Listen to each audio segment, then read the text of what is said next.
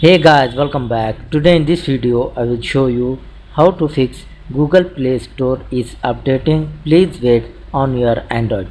So for this guys I will show you very simple and easy method. Just open your phone settings.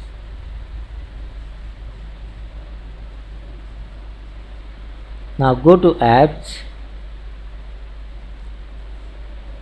Then select the all applications so now here guys you find the google play store. Open tap on google play store tap on force stop then tap on force stop and go back. Now open the google play services go to storage tap on clear cache and go back. After this guys you restart your device